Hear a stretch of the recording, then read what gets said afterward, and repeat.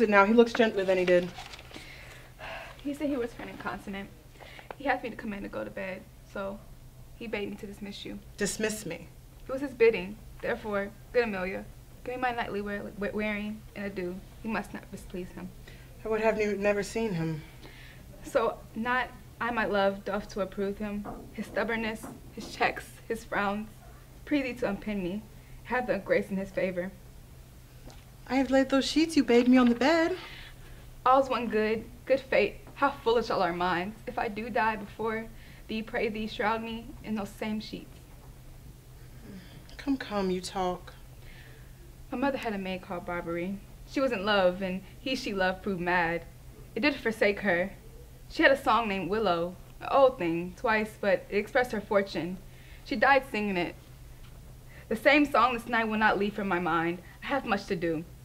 But I do hang my head to one side and sing, just as poor Barbary, pray thee dispatch. Shall I fetch your nightgown? No, unpin me here. This lo this Lodovico is a proper man. A very handsome man. He speaks well. I know a lady in Venice that would walk barefoot to Palestine just to get a touch of his nether lip. poor soul sat sighing by the sycamore tree, sing all the green willow. Her hand on her bosom, her head on her knee. Sing willow, willow, willow. The fresh streams went by her and murmured her moans. Sing willow, willow, willow. Her salt hills swam from her and softened the stones. Lebanese. Sing willow, willow, willow. Prithee he, thee he'll come along. Sing all the green willow. Let nobody blame him, his scorn I approve. Nay, that's not next. Hark who knocks. It is the wind.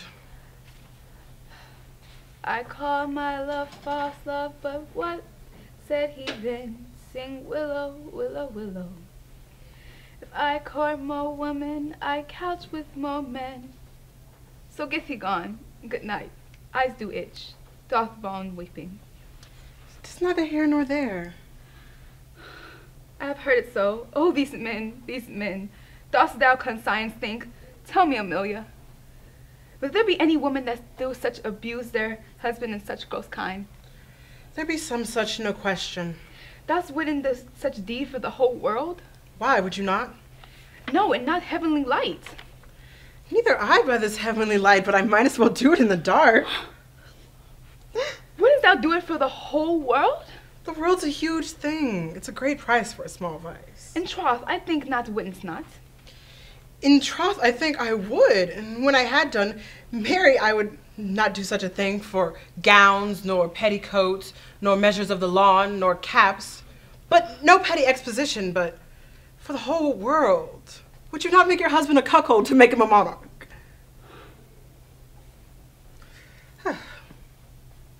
Pursue me, I wish not do such wrong for the whole world. Why, the wrong is a wrong, but I the world, and having the world for your labor. Tis a wrong in your world, and might quickly make it a right.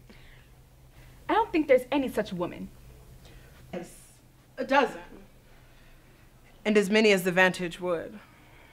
So the world that they played for, but I do think it's their husband's fault if wives do fall say that they slack their duties or pour arch treasures into foreign laps, or else break out into peevish jealousies, throwing restraint upon us, or say that they strike us, or scant our former having in despite. Why, we have galls, and though we have some grace, yet we have some revenge. Let husbands know that their wives have sense like them. They see and smell, and have palates for both sweet and sour as husbands have. What is it they do when they change us for others? Is it sport? I think it is. And doth affection breed it? I think it doth. Is it frailty that us errs? I think it is too. And have we not affections, desires for frailty, as men have? Then let us know, use us well, else let them know the ills we do are the ills they instruct us to do. Good night, good night. God me such use to not send bad from bad, but bad from men.